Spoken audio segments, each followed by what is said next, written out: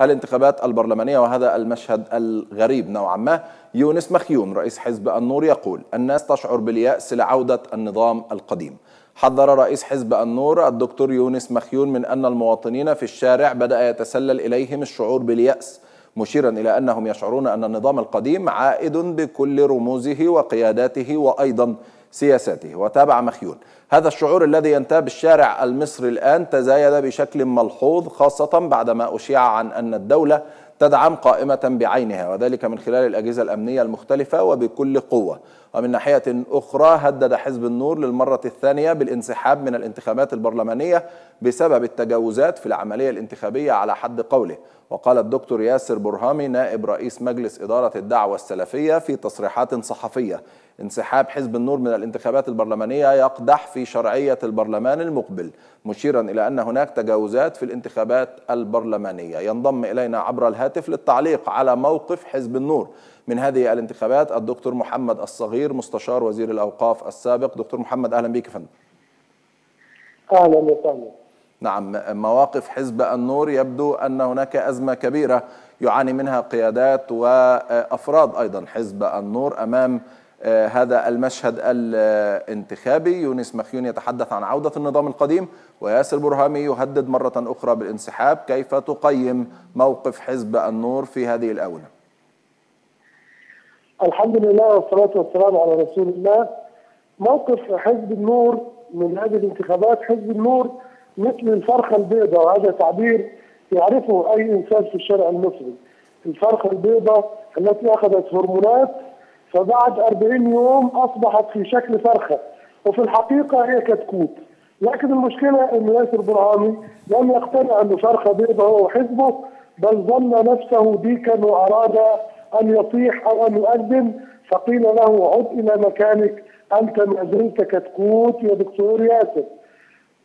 الدولة القديمة والدولة العميقة والحزب الوطني عاد ببركة وجود لحاكم وخروجكم معهم في انقلاب 3 يوليو. الدولة القديمة هي التي جاءت مع الانقلاب. الدولة القديمة التي تريد أن تشارك معها يا دكتور مخيون هو حلم المنم وزير الثقافة.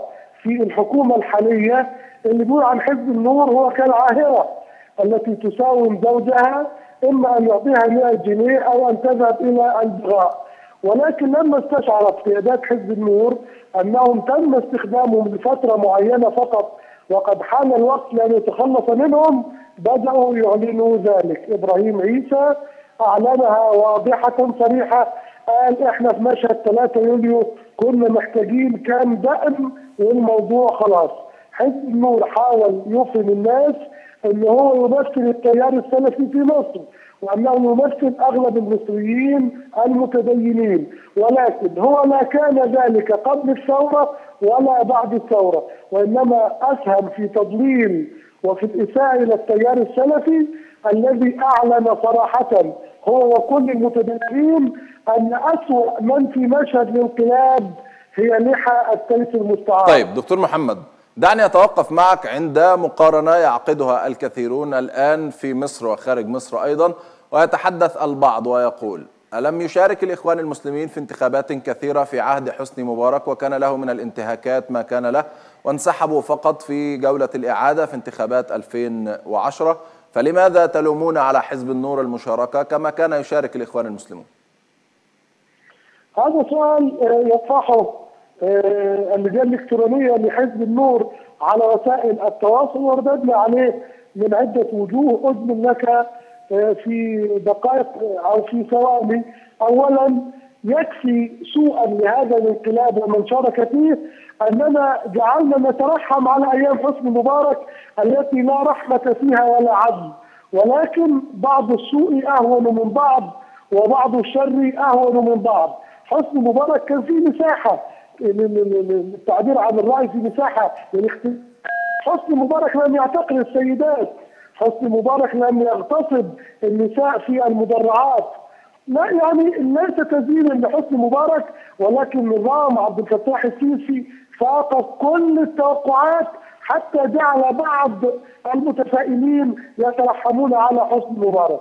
ثم دعني أسجل أننا وإن رفضنا مشاركة حزب النور في مظلة انقلاب 3 يوليو فنحن أيضا وكنا لا نوافق على مشاركة حسني مبارك في انتخابات الإخوان المسلمين لاننا كنا في نفس الوقت بنعتبر إنه هي نوع من التجميل والديكور لحسني مبارك. نعم. ولكن لا مفارقة لا مقارنة البتة بين السيسي وحسني مبارك. أشكرك شكرا جزيلا الدكتور محمد الصغير مستشار وزير الأوقاف السابق كان معنا عبر الهاتف.